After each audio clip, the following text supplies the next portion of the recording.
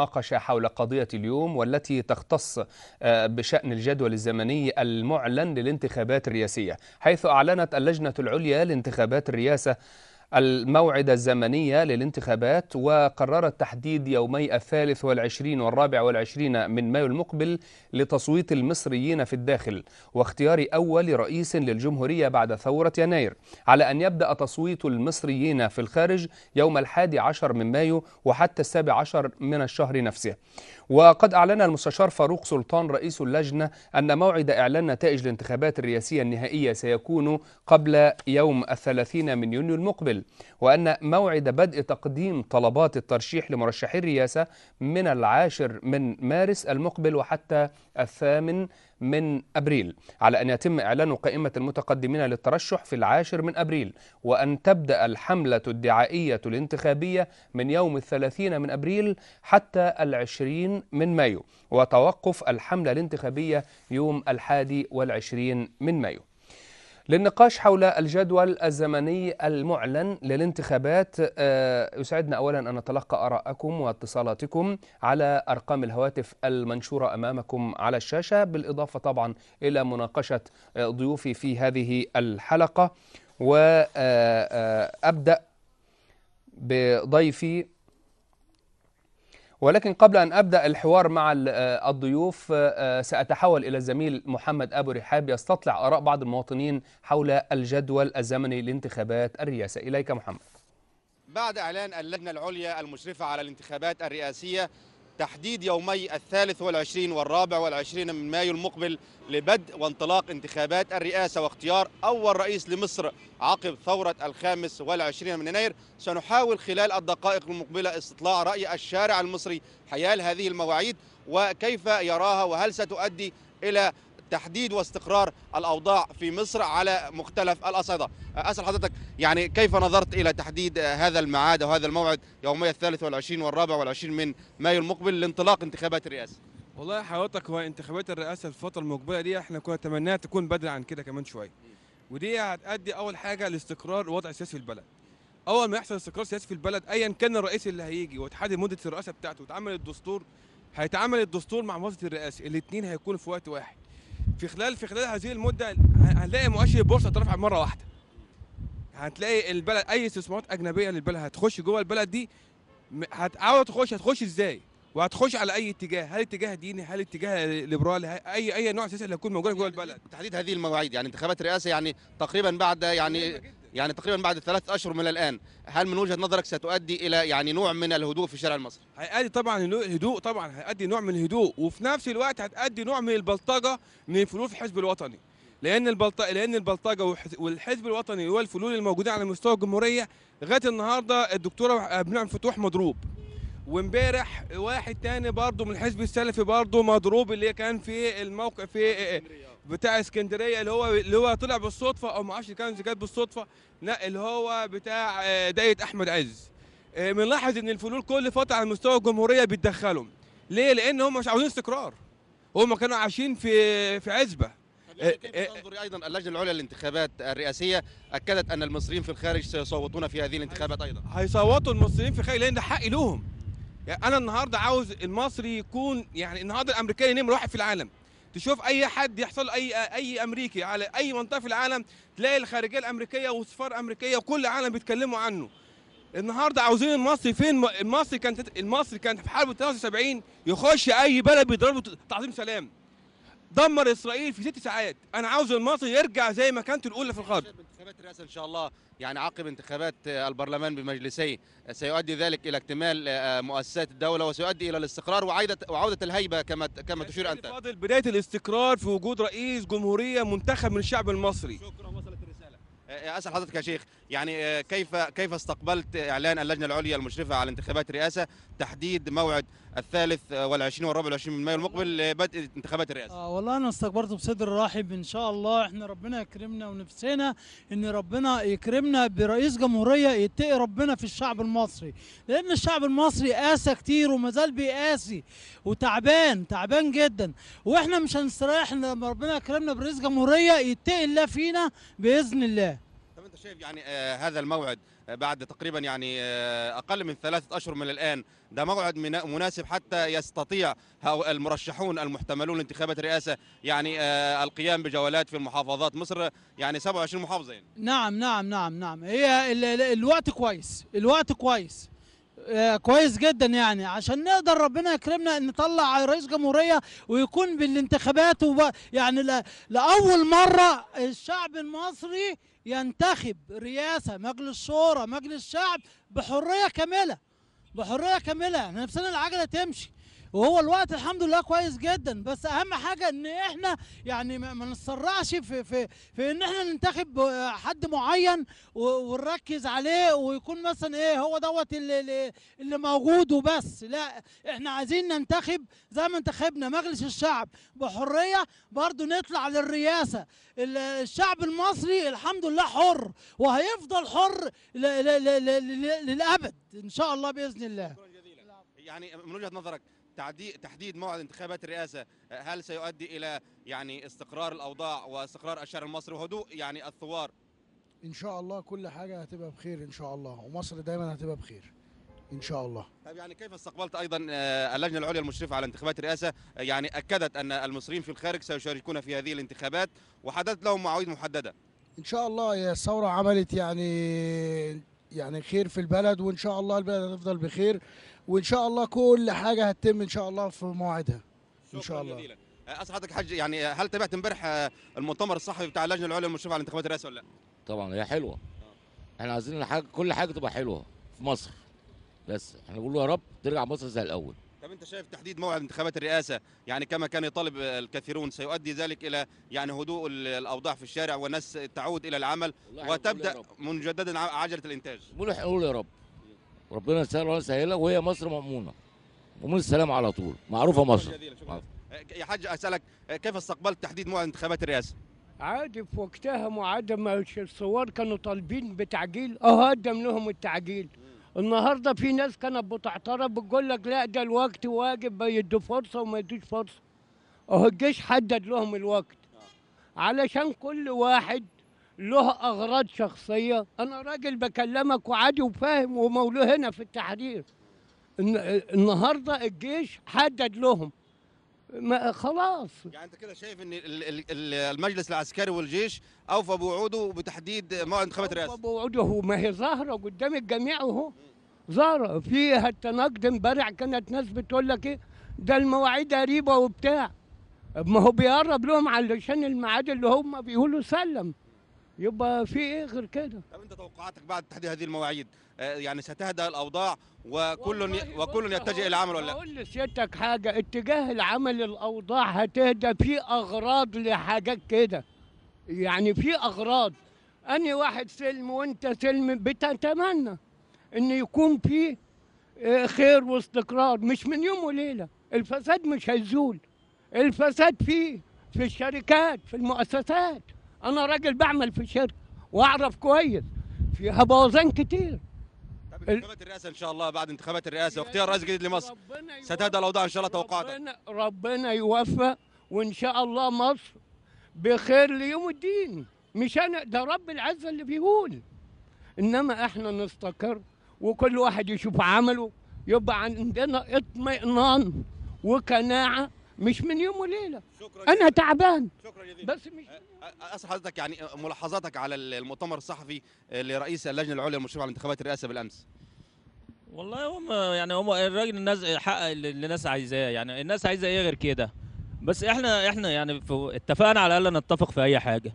يعني لو لو جبنا اتنين يتكلموا مع بعض هتلاقي هتلاقيهم يعني ليهم ثلاث آراء. يعني اتنين تلاقي لهم ثلاث آراء. طب يعني مش عارفين الناس تعمل إيه بالظبط يعني. طب يعني بتحديد موعد انتخابات الرئاسة يعني ألا يكون بذلك قد اكتمل الجدول الزمني وخريطة الطريق لتسليم السلطة؟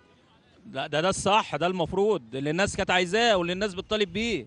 بس إحنا إحنا دلوقتي بنسأل الناس اللي موجودة في التحرير دي موجودة ليه دلوقتي؟ إلا الأغراض. كل واحد عاوز كل واحد ليه ليه طلب كل واحد ليه غرض. اتقلبت قهوة دلوقتي تلاقي قهاوي تلاقي كراسي تلاقي عربيات حمص وعربيات كشري مش مش ده ميدان التحرير مش ده اللي كان موجود في الثوار. يعني ال- يعني اتقلبت 180 درجة. قد نعود أيضا إلى انتخابات الرئاسة وما أعلنه رئيس اللجنة العليا المشرفه على الانتخابات الرئاسية بأنه يعني المصريين في الخارج سيشاركون في هذه الانتخابات، الانتخابات ستكون بالرقم آه القومي، يعني هناك مواعيد محددة للانتخابات، هناك مواعيد محددة لجولة الإعادة في انتخابات الرئاسة. طيب ما هو ده اللي ده, ده اللي إحنا عايزينه وده اللي اتحقق أهو. والناس اللي في الخارج هيصوتوا زيهم زي اللي موجودين بالظبط أخدوا حقوقهم كلها. طب إحنا عايزين إيه؟ ما إحنا مش عايزين غير كده. بس يا ريت البلد تستقر بقى والناس تشوف شغلها وكل واحد يبص لعمله. كل واحد يبص لعمله عشان البلد دي تتبني من تاني. لكن طول ما إحنا كده عمر عمر البلد ما هتقف على رجليها. شكرا جزيلا. عفوا. أسأل حضرتك يعني توقعاتك إن شاء الله بعد انتخابات الرئاسه اللي يتحدد لها موعد يوم 23 و24 مايو المقبل إن شاء الله. آه، الأوضاع هتهدأ وتتجه يعني إن شاء الله مصر إلى مزيد من الأمن والاستقرار. إن شاء الله. أتمنى أتمنى من الله إن الناس تهدى شوية عشان البلد تقف على رجلها شوية والرئيس اللي هيجي جديد مش هم اللي هينتخبوه؟ ولا أنا اللي هينتخبوه هم ينتخبوه يبقى هم لازم زي ما انتخبوا مجلس الشعب ومجلس الشورى والناس بره صوتت زي جوه لازم نحترم آراء الناس. طالما احترمنا آراء الناس يبقى لازم نهدى عشان نقدر نلم الناس اللي هم بيبلطجوا في الشوارع وبتاع إنما حرام كده حرام يبقى أخت وأختك ماشية في الشارع وتتاخد تبقى ماشي بعربيتك وتتاخد ونسمع كل يوم والتاني انضرب فلان انضرب علان اتاخد فلوس من فلان هجم على بنك هجم حرام يعني شكرا جزيلا. لا. يعني إذا شكرا للزميل محمد أبو رحاب أجرى هذه اللقاءات واستطلع آراء بعض المواطنين حول إعلان الجدول الزمني أو الإطار الزمني الذي تجرى خلاله الانتخابات الرئاسية. لكن الآن نستكمل الحوار مع بعض ضيوفي عبر الهاتف. ينضم إليه الأستاذ طارق الخولي المتحدث باسم حركة 6 أبريل والسيد طارق الزمر القيادي بالجماعة الإسلامية. أبدأ بالأستاذ طارق الخولي المتحدث باسم حركة 6 أبريل. أستاذ طارق كيف ترى الإطار الزمني الذي تجرى خلاله الانتخابات الرئاسية؟ يعني الحقيقة ال- الإطار الزمني محمود بشكل كبير ولكن آه، تبقى هناك عدة مشاكل أو عدة آه، أمور يجب أن نتحدث فيها. أول أمر هو المادة 28 التي ما زالت يعني آه، مشكلة رهيبة قد نواجهها في الانتخابات الرئاسية القادمة في ففي الحديث عن هذه المادة وما تحتويه من أنه رئيس اللجنة العليا المشرفة على الانتخابات الرئاسية لا يجوز الطعن على قراراته بأي وجه من أوجه الطعون أعتقد أن دي مشكلة كبيرة يجب آه، أن نتداركها ويجب على البرلمان أن آه، بمشاورات مع المجلس العسكري آه، أن يتم تعديل هذه المادة لأنه مش هنستحمل أو هنتحدث إن إحنا هننتظر استفتاء لتعديل المادة ويتم تأجيل موعد الانتخابات يعني ده شيء مرفوض بشكل آه، كبير لكن بنتكلم إنه عن طريق المشاورات يمكن تعديل المادة 28 لأنه صعب قوي إن إحنا ندخل انتخابات رئاسية وهذه القرارات التي تخرج من لكن يعني يا أستاذ طارق آه، يعني نعم. المجلس الاستشاري كان له رأي في هذا الموضوع يعني ذكر أن هذه المرحلة الانتقالية أنه لو كانت الظروف طبيعية ما كان أبدا ليوافق ولا ليحبذ آه، آه، تمرير هذه المادة 28 من الإعلان ال- ال- الدستوري وأنه يرفض تماما تحصيل لجنة الانتخابات الرئاسية. ولكن المرحلة الانتقالية بطبيعتها قد يعني تسمح بذلك خاصة أن من سيقوم على رئاسة اللجنة لجنة الانتخابات الرئاسية هم رئيس المحكمة الدستورية العليا وأساتذة وشيوخ القانون. يعني وكمان استشهد بأن يعني من تحدث منهم أن رئيس اللجنة رئيس المحكمة الدستورية العليا كان من الممكن أن يكون رئيس للجمهورية وفقا للدستور المعطل. يعني الحقيقة أنه ليس هناك إنسان معصوم من الخطأ وهذه اللجنة هي لجنة ليست معصومة من الخطأ فقد وقد تصيب. والجميع لا يستطيع أن يقول أن أعضاء اللجنة هم أنبياء فقد يخطئوا. فبالتالي لابد من وجود أوجه من أوجه الطعن يمكن الرجوع بها في حالة وقوع خطأ أو ما شابه. أشكرك شكرا جزيلا الأستاذ طارق الخولي المتحدث باسم حركة 6 أبريل والذي يرى أن الإعلان عن الإطار الزمني هو أمر محمود ولكن بقي الجدل الدائر حول المادة 28 من الإعلان الدستوري. أستاذ طارق الزمر القيادي بالجماعة الإسلامية ما رأيك؟ آه، والله نحن آه، آه، نحبذ أو نفضل ونرحب بصدور هذا القرار بإعلان الجدول الزمني الذي كان تأخيره في الحقيقة محل تشكك كبير عند الكثير من القوى والكثير من التيارات وأنا أعتقد أن هذا الجدول يلبي متطلبات هذه المرحلة الهامة من تاريخ مصر. كما أنني أيضا آم، وصول إلى صيغة آه، تضمن عدم تحصين قرارات لجنة الانتخابات الرئاسة لأن هذا الأمر لا يزال وسيظل محل تشكيك في هذه الانتخابات. وإن كانت قد جرت بعض التعديلات آه، آه، آه، قبل أن نصل إلى التشكيك في هذه اللجنة عن طريق التعديل الأخير الذي أجري في مجلس الشعب ب- بإخضاع ال- القرارات القضائية قبل قبل الوصول لقرار ال- اللجنة إلا أننا نتمنى أن تزال كل الشكوك وكل ال- الهواجس قبل انتخاب رئيس مصر القادم الذي آه، سيكون بداية جديدة لعصر جديد نتمنى ألا يكون فيه أي صورة من صور التشكيك في أشكرك. شكرا جزيلا. السيد طارق الزمر القيادي بالجماعة الإسلامية وأعتذر منكم مشاهدينا الأعزاء عن عدم استكمال الحوار حول هذه القضية. آه، لننتقل الآن إلى القاهرة حيث المؤتمر آه، الذي آه، يعقده أمين عام جامعة الدول العربية دكتور نبيل العربي حول بعض القضايا العربية المشتركة. إلى هناك.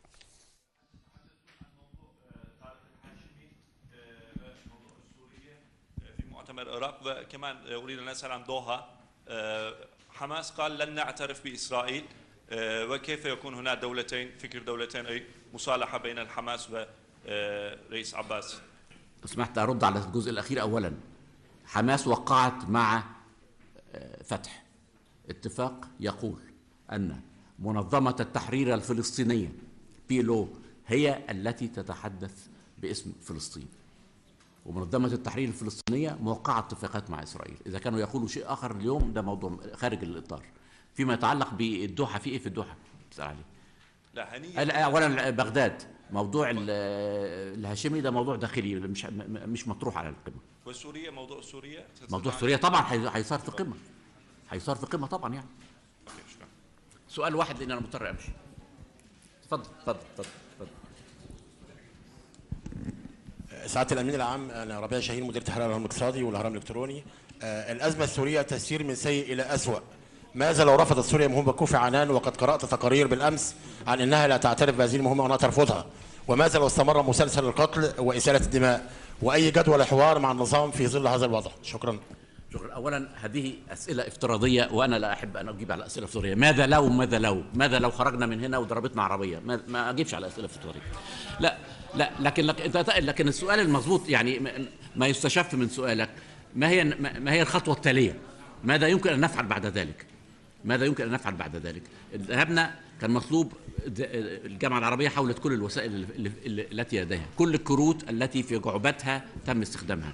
الآن ت- تم التوجه إلى مجلس الأمن منذ فترة ومجلس الأمن لم لم يتمكن من إصدار قرار. أنا عندي أمل إن ربما يصدر قرار آخر من مجلس الأمن والجمعية العامة قررت أيضا بعض أمور منها تعيين مبعوث. المبعوث اتصل بالفعل مع السلطات السورية متى سوف يذهب وما هي الخطوات؟ اليوم بان كيمون سكرتير عام الأمم المتحدة طالب السلطات السورية باستقبال المبعوث ويجب أن ننتظر ونرى ما هي النتيجة. معالي الأمين آخر سؤال. معالي الأمين العام آه، طيب اتفضل، الواضح. الواضح أن ال- الجهود ال- الدبلوماسية آه، تسير آه، كالسلحفاه والأوضاع في سوريا تمشي بسرعة الصاروخ. هناك دماء عربية تسيل في سوريا والموقف العربي حتى الآن ما زال يلح على الحل السياسي. لكن ألا يمكن للجماعة العربية في ظل ربيع الثورات العربية وتخلص الأنظمة العربية من عقدة الاتفاقيات التي توضع في الأدراج أن يتم تفعيل اتفاقية الدفاع العربي المشترك يعني بداية من إرسال قوات عربية لحفظ السلام وانتهاء حتى بلجم هذا النظام الذي لا يتورع عن قتل شعبه. شكرا سعد. شوف الموضوع ده يعني يجب أن ننظر له نظرة آه، موضوع.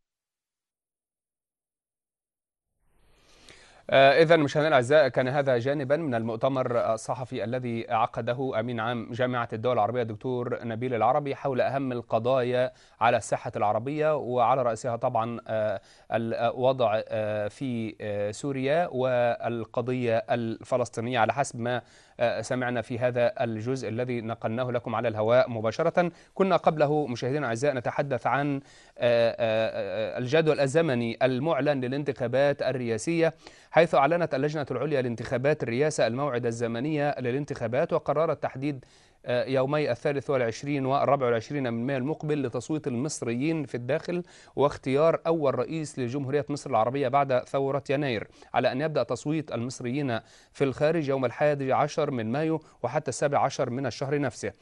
المستشار فاروق سلطان رئيس اللجنة أعلن أن موعد إعلان نتائج الانتخابات الرئاسية النهائي سيكون قبل يوم الثلاثين من يونيو المقبل وأن موعد بدء تقديم طلبات الترشيح لمرشحي الرئاسة سيبدأ من العاشر من مارس المقبل حتى الثامن من أبريل على أن يتم إعلان قائمة المتقدمين للترشح يوم 10 أبريل وأن تبدأ الحملة الدعائية للانتخابات يوم 30 أبريل وحتى العشرين من مايو على أن تتوقف هذه الحملات الدعائية للانتخابات يوم الحادي والعشرين من مايو.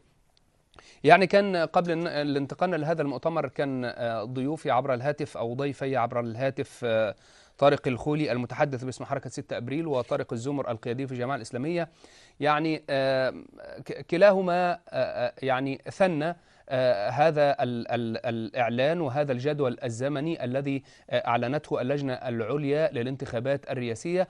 آه، لكنهما عقبا على المادة آه، 28 والتي هي مثار جدل حتى الآن آه، والمتصلة بتحصين لجنة انتخابات الرئاسة ضد أي طعون.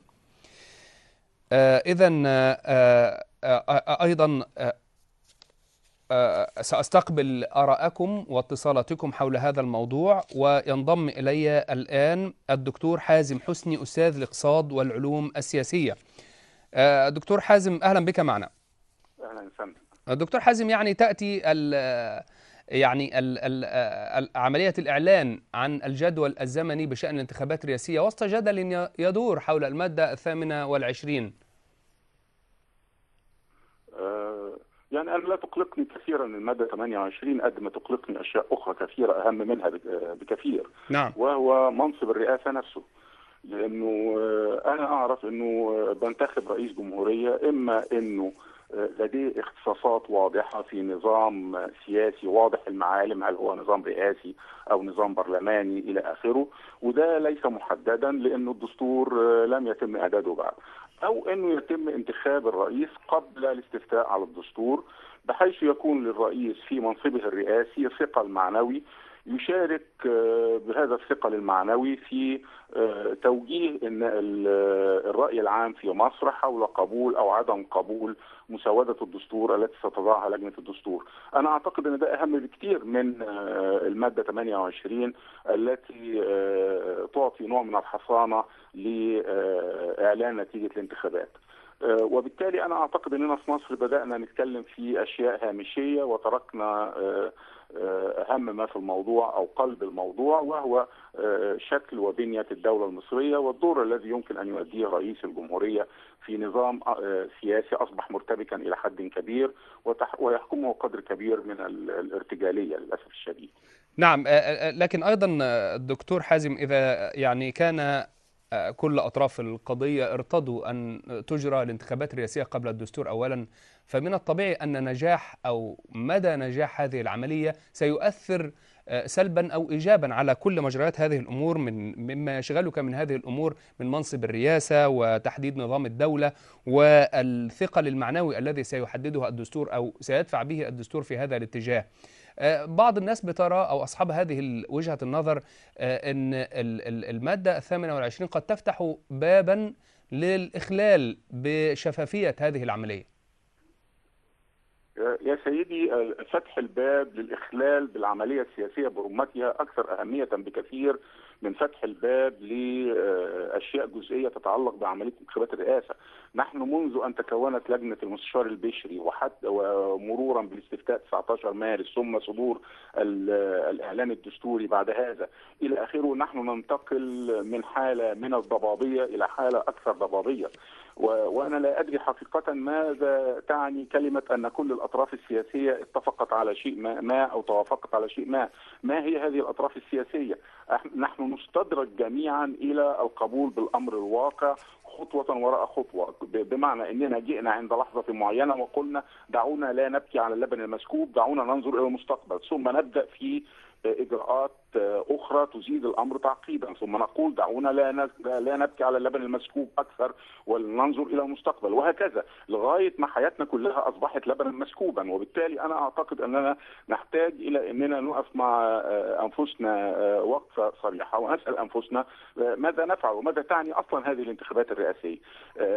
بالطبع سيأتي رئيس وفقا لهذه ال- الانتخابات الرئاسية ووفقا للمسار الذي سرنا فيه سنقبل بوجود هذا الرئيس ولكن هذا لا يعني بالضرورة أنه سيكون هناك استقرار سياسي في مصر لأن العملية كلها مصابة بالارتباك من أولها إلى آه، نهايتها نعم. ولا أدري هل هل هذا الارتباك مقصود أم أنه ناتج فقط عن عدم الخبرة آه، طيب. أو على الضغوط ال- الحياتية التي نعيشها لكن بالتأكيد هناك نوع من الارتباك الشديد ونوع من ال- العشوائية أو ال- ال- آه، خلينا نقول ال- الارتجالية الشديدة في آه، وضع ال- الأمور. يعني حددنا قبل كده ميعاد فتح باب الترشح للرئاسة ثم جلسنا محتارين مش عارفين ما هو آه، ميعاد إجراء الانتخابات ثم آه، انتهينا أخيرا لأننا حددنا وقت الانتخابات. لكن في النهاية الأمور كلها أشعر أنها تسير بشيء كبير من الارتجالية. ستؤثر بالتأكيد على استقرار مصر السياسي بعد الانتخابات. كما رأينا في انتخابات مجلس الشعب مجيء مجلس الشعب لم يحقق الاستقرار للشارع المصري نفس الشيء أنا أعتقد أنه سيحدث مع انتخابات الرئاسة ولن يكون هناك استقرار لأن الهدف ليس هو وجود رئيس. الهدف هو أن يأتي هذا الرئيس بالاستقرار لمصر ويأتي لمصر برؤية واضحة. طيب دكتور حازم. موازين القوى السياسية لدعم أي مرشح من المرشحين المحتملين كيف سيؤثر على اختيار هذا الرئيس القادم؟ خاصة يعني أنه واضح من الانتخابات البرلمانية والشورى أيضا يعني آه، قوة وجود التيار الإسلامي السياسي. يعني يا سيدي لا توجد لدينا قوى سياسية حقيقية أو موازين سياسية آه، تحكم الحياة السياسية في مصر. ما هو موجود هو حسابات آه، بعضها أو كثير منها حسابات عقائدية دينية. بعضها أيضا حسابات تتعلق بضغوط المعيشة اليومية في الشارع المصري، لكن لا أستطيع أن أتحدث اطلاقا عن أن هناك موازين سياسية بالمعنى الحقيقي لهذه الكلمة.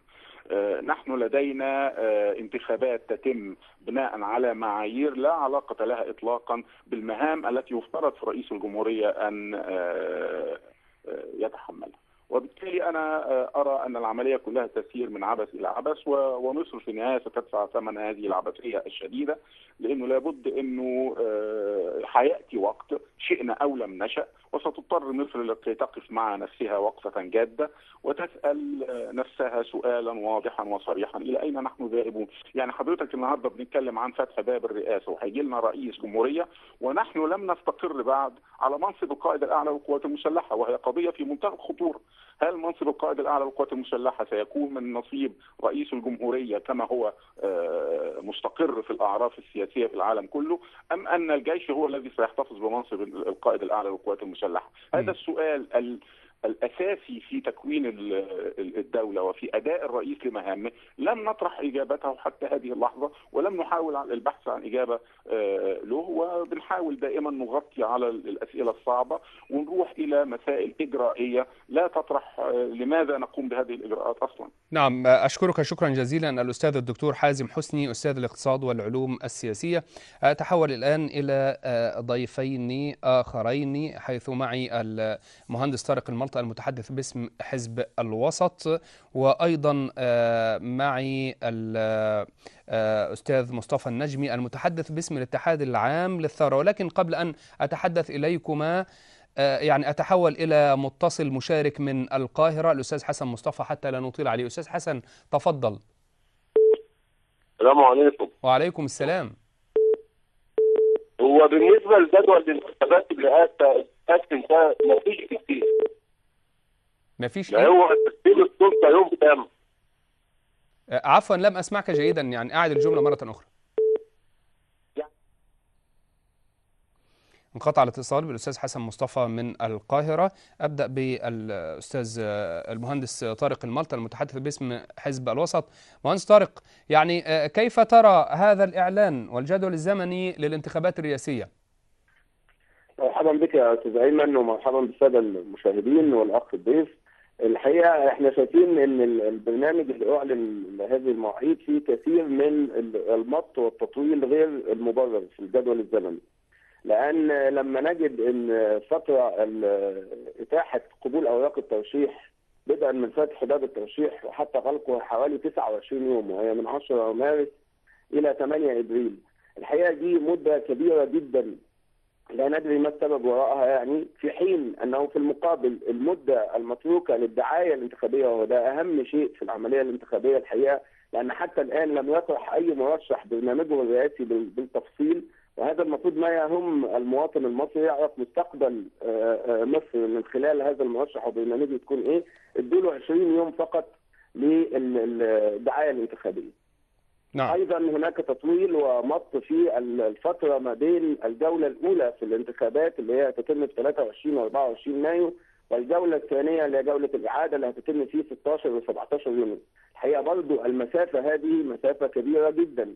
ولا معنى ولا مبرر لأن المرشح يحتاج دعاية مرة أخرى لمدة 15 يوما. الحقيقة كان بالأولى إن هذه المدة تضاف لمدة الدعاية الأولى اللي هي إحنا من وجهة نظرنا هي دي مدة الدعاية الأساسية كما ذكرت لا. لكن مهندس طارق يعني أليس من الممكن أن يرتبط يعني المط والتطويل الذي تراه من وجهة نظرك بمسألة قانونية أنا لا أعلم في القانون حقيقة ولكن يعني إذا ما كنت تقرأها في يعني في أنها ليس لها أي داعي وليس لها أي مبرر هل معنى ذلك أنك تشكك في المط والتطويل هذا أنه من الممكن أن يقرأ بصيغة أخرى؟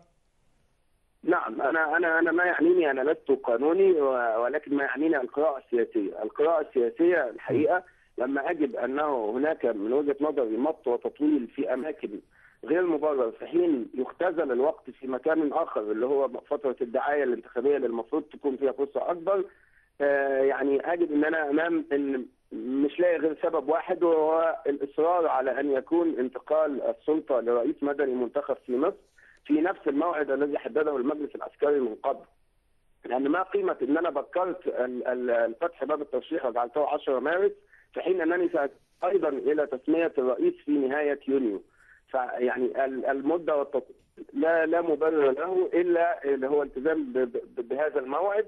في حين إن إحنا كنا بنرى من وجهة نظرنا كحزب الوسط أن الأوجب في ظل الوضع الأمني غير المستقر وحالة الفوضى اللي بتشهدها البلاد كل يوم زي ما بنشوف الاعتداءات على مسؤولين الاعتداءات على مرشحين رئاسة ال- ال- السرقات وما شابه كنا نرى أن تعديل الإجراءات وتقليص هذه المدد هو بالتأكيد آه، آه، في صالح الاستقرار في مصر وفي صالح أن نبدأ آه، جميعا معا مشوار بناء مصر ال- المستقبل.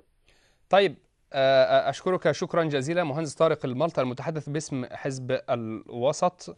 آه، وأتحول إلى الأستاذ مصطفى النجمي المتحدث باسم الاتحاد العام للثورة. أستاذ مصطفى ما رأيك في الجدول الزمني للانتخابات الرئاسية الذي أعلن بالأمس؟ واهلا بحضرتك آه، في البداية ويعني أرحب بجميع الضيوف اللي كانوا وأقدر جميعا كلامهم عن جدول الزمن الانتخابات الرئاسية.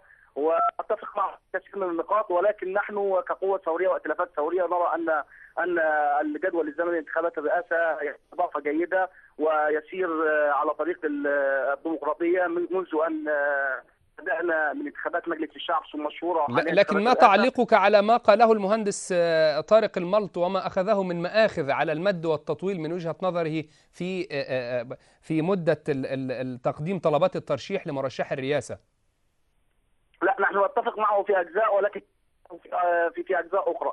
نقول نحن كاختلافات ثوريه وكقوة ثوريه اننا الثقه بأن القوات المسلحة يعني آه، أعلنت عن نيتها ل- في- تسليم السلطة وهذا شيء جيد. وإن كانت هناك وإن كان الجدول الزمني قد جاء متأخرا يعني مشوبا بعدد من الارتباكات آه، حيث تأخر وطرح أكثر من مرة.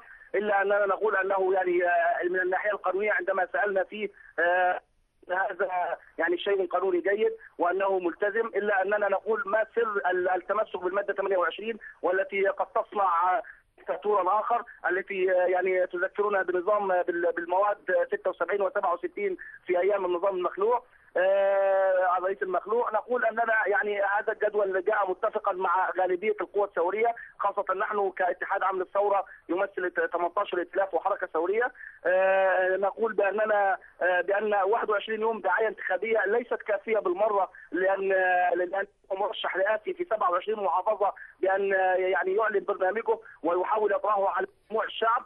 آه، ولكننا نثق تمام الثقة في أن في أن القوة الثوريه الشعب المصري واعي لدرجة أنه لن يصنع دكتاتورا اخر وإن كنا نأمل كغيرنا من القوة والائتلافات الثورية ان أن الدستور قبل الرئيس آه، كان من الأفضل كان نعم، أشكرك. شكرا جزيلا مصطفى النجمي المتحدث باسم الاتحاد العام للثورة كما أشكر ضيوفي الذين شاركونا في هذه الفقرة والتي خصصناها بشأن الجدول الزمني المعلن للانتخابات الرئاسية. وأشكركم مشاهدينا الأعزاء بعد الفاصل سنلتقي مع موجز لأهم وآخر الأخبار فابقوا معنا.